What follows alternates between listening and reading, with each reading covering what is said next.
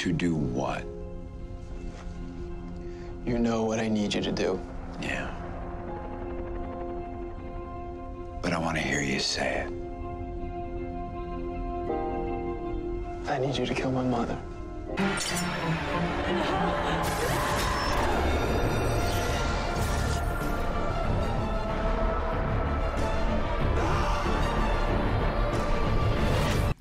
What's up guys, it's the NJB here, and today I'm going to give you my last theory on who I think Savitar is.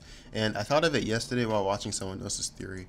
So, first of all, I just want to apologize. The washing machine and the dryer are going on in the background. So, if you guys hear something like rattling or like shaking around, it is that. So, please just ignore it for this video. So, let's get right into it. So, in short, I think Savitar could be Barry Allen, but it's not going to be Barry from this timeline that we know. Remember in the very beginning of the season, or the series, the Reverse Flash went back in time and killed Barry's mom. So technically, like in the comics and all those, like cartoons, that happened like normally, like someone killed his mom. But in the show, someone traveled in, back in time and killed his mom. So technically, that means the whole series has been like a different timeline than what it's supposed to be. The Reverse Flash went back in time, killed his mom, killed Harrison Wells and took his place and like became like a fake Harrison Wells and then created Flash just so he can get back to his own time. So the whole time they've been living like in like a timeline that wasn't supposed to happen originally.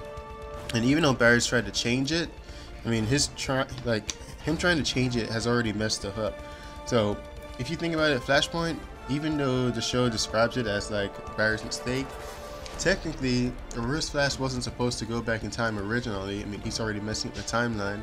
So, technically, Flashpoint could actually be like the way it's supposed to be if you really think about it. But anyway, if we're thinking about Savitar, if Savitar is like he could be Flash from the original timeline, like the future Flash, and think about it, Barry always blamed himself for practically everything and it's kind of like a CW trend in like all their shows. I mean, their characters, their main characters blame themselves for everything, even when it's clearly not their fault, and that is a problem in, the, in a lot of their shows. I'm not gonna lie, but if you think about it, the Reverse Flash, Barry Barry could blame himself for that because a lot of times when he has enemies, he could blame himself and say that well, if he's never like been the Flash or whatever, or if he's never like done things to like get people mad then maybe he wouldn't have caused them to do like some bad things. And he could view like he could view the reverse flash as one of those people or one of the mistakes he's made. So let's say we know the reverse flash is Barry's enemy, but we never really know the context of like how he went back.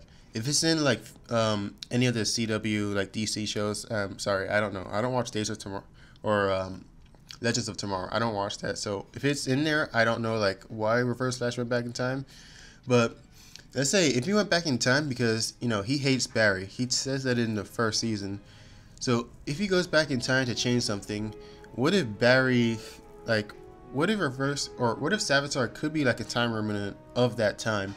What if he blames himself for losing everything or for for everything that Reverse Flash took away from him? I mean, technically, he was the first speedster like that um, we do see like in this like for his story like in this timeline. So what if he blames himself for like creating like causing all the villains to happen and to be there?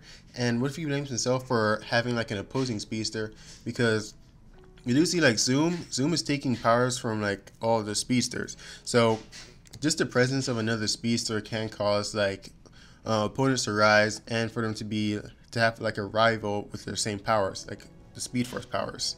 So, what if he's the one that's left over? I mean, the show's never like shown us anything. I mean, other than Flashpoint, we've never seen like anything showing like what the timeline was supposed to be. I mean, the whole series has been in the Reverse Flashes, kind of like the Reverse Flashes time, uh, Flashpoint. So the show's never gone over that. So if the re reverse flash did take everything, Barry could blame himself because he blames himself for basically everything that happens to him. Maybe he maybe he does become evil eventually in the future and he does go back to punish Barry. And what if he has tried to change it back in the like in different ways, but he doesn't like it's never worked out for him. He could just blame Barry and say Barry took everything from him because that is his former self and he's living a different time. And what if he's a little jealous of him because now Barry has like a family and um, Savitar doesn't. Like Savitar probably had a family and now he doesn't. So there are kind of like a bunch of theories we can do, like saying how, like if Savitar is from the original timeline, how he would still like retain his memories and not be uh, kind of like destroyed like other um, time remnants are in the show. And I can't really like explain all of that, but I do think it is a good idea that Savitar could be from the original timeline, and he could be that that version of Flash or the future version. So I'm gonna leave it as at that. If you guys can add on to this or give me your theories on what you on who you think Savitar is, then you can put it in the comments.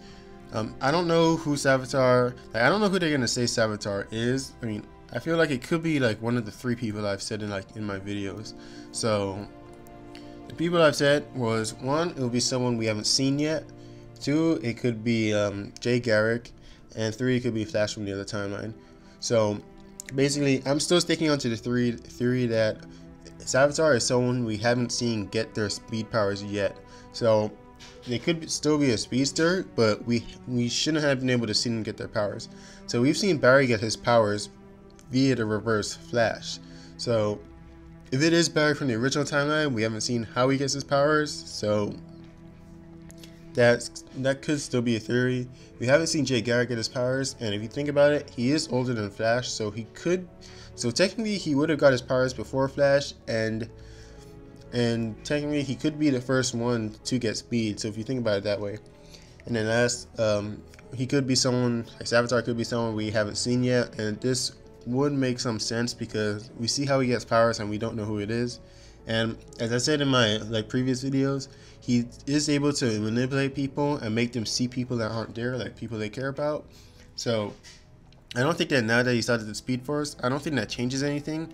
Um, whoever Caitlin saw when he took when Savitar took off the suit, it could still be like a manipulation and someone she thinks she's seeing, but she's really not. Because Savitar does use people and he does manipulate them by showing them who they care about and promising to to uh, let them be who they're supposed to be. I mean, that's what he was doing with Dr. Alchemy.